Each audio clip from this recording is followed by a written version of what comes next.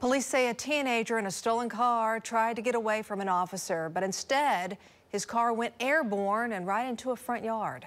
News 9's Chris Hughes shows us what happened next.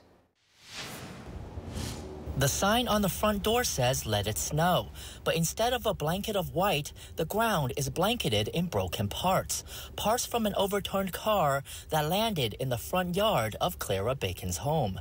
It sounded like a freight train hitting my vehicles in my yard. Purcell police say around 1.43 a.m. Friday, an officer tried to pull over the car on Green Avenue because it was speeding. But police say the car would not stop, going about 70 miles an hour.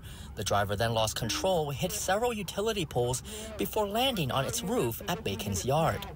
I really was afraid the car was going to explode or something the way it was smoking so bad. Police say the driver, a 16 year old boy from Grady County, then ran away, leaving his 13 year old brother trapped inside the overturned car. They had to pry on the door quite a bit to get him out. The suspect, though, didn't get far.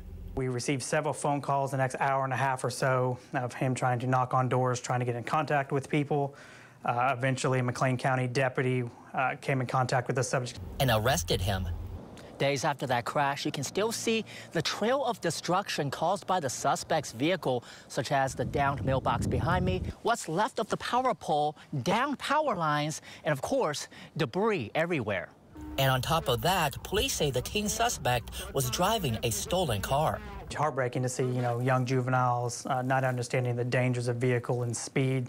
The teen facing several felony complaints, his younger brother released to his parents. Angels were with them. In Purcell, Chris Hughes, Oklahoma's own News 9.